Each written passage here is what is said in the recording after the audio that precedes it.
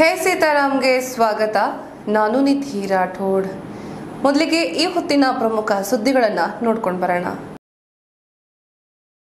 ಬೆಳ್ಳಂ ಬೆಳಗ್ಗೆ ನೂರ ಐವತ್ತು ಪೊಲೀಸರಿಂದ ಮಂಗಳೂರು ಜೈಲ್ ಮೇಲೆ ದಾಳಿ, ಗಾಂಜಾ, ಡ್ರಗ್ಸ್, ಮೊಬೈಲ್ ಜಪ್ತಿ.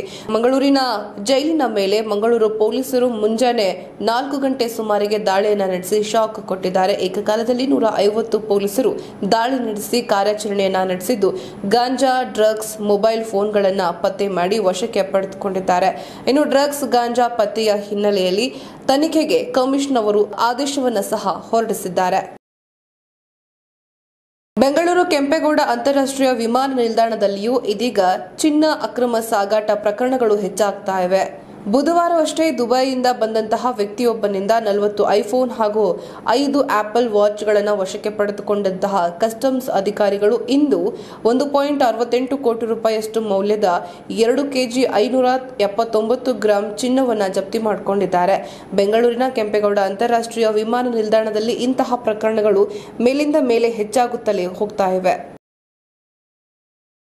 ಮೂಡ ಹಗರಣದ ನಡುವೆ ಮತ್ತೊಂದು ಬಹುಕೋಟಿ ಭೂ ಹಗರಣ ಆರೋಪ ಕೇಳಿ ಬಂದಿದೆ. ಮಂಡ್ಯ ಜಿಲ್ಲೆಯ ಪಾಂಡವಪುರ ಮೇಲುಕೋಟೆ ಚಲುವನಾರಾಯಣ ಸ್ವಾಮಿ ಆಸ್ತಿ ಭೂಗಳ್ಳರ ಪಾಲಾಗಿದೆ ಎಂದು ಅವರ ಭಕ್ತರಿಂದ ಆರೋಪ ಹೊರಿಸಲಾಗ್ತಾ ಇದೆ. ನೂರಾರು ಕೋಟಿ ಆಸ್ತಿ ಕಬಳಿಸಲು ಸಂಚು ಹಾಕಲಾಗಿದ್ದು, ಮೈಸೂರು ಉಪವಿಭಾಗಾಧಿಕಾರಿ ರಕ್ಷಿತ್ ಅವರು ಕೋಟ್ಯಾಂತರ ರೂಪಾಯಿ ಮೌಲ್ಯದ ಆಸ್ತಿ ಭೂಗಳ್ಳರಿಗೆ ಅಕ್ರಮ ಪರಭಾರೆ ಮಾಡಿಕೊಟ್ಟಿದ್ದಾರೆ ಎಂಬ ಗಂಭೀರ ಆರೋಪ ಎದುರಿಸ್ತಾ ಇದ್ದಾರೆ.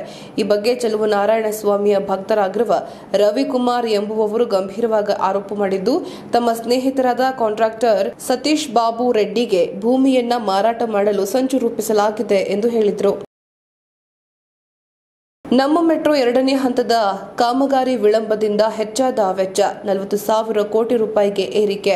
ಬೆಂಗಳೂರಿನ ನಮ್ಮ ಮೆಟ್ರೋ ಎರಡನೇ ಹಂತದ ಯೋಜನೆಯ ವಿಳಂಬದ ಪರಿಣಾಮವಾಗಿ ಸರ್ಕಾರಕ್ಕೆ ಎಷ್ಟು ಹಣಕಾಸಿನ ಹೊರೆಯಾಗಲಿದೆ ಎಂಬುದರ ವರದಿ ಇದೀಗ ಬೆಳಕಿಗೆ ಬಂದಿದೆ.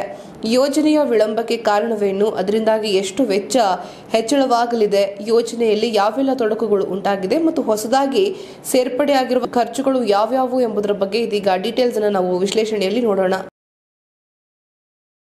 ಪ್ರವಾಹ ಭೀತಿಯಿಂದ ರಂಗನತಿಟ್ಟು ಪಕ್ಷಿಧಾಮಕ್ಕೆ ಪ್ರವಾಸಿಗರ ಪ್ರವೇಶಕ್ಕೆ ನಿರ್ಬಂಧವನ್ನು ಹೇರಲಾಗಿದೆ. ಕೆಆರ್ಎಸ್ ಜಲಾಶಯದಿಂದ ಹೆಚ್ಚಿನ ಪ್ರಮಾಣದಲ್ಲಿ ನೀರು ಬಿಡಲಾಗ್ತಾ ಇರೋ ಕಾರಣದಿಂದಾಗಿ ವಿಶ್ವಪ್ರಸಿದ್ಧ ರಂಗನತಿಟ್ಟು ಪಕ್ಷಿಧಾಮಕ್ಕೆ ಪ್ರವಾಹ ಭೀತಿ ಎದುರಾಗಿದೆ. ಪರಿಣಾಮವಾಗಿ ಪ್ರವಾಸಿಗರಿಗೆ ನಿರ್ಬಂಧ ಹೇರಲಾಗಿದೆ. ಅತ್ತ ಬೆಳಗಾವಿಯಲ್ಲಿಯೂ ಕೂಡ ಸಪ್ತ ನದಿಗಳು ಅಪಾಯದ ಮಟ್ಟ ಮೀರಿ ಉಕ್ಕಿ ಹರಿತಾ ಇದ್ದು ಪ್ರವಾಹ ಭೀತಿ ಎದುರಾಗಿದೆ.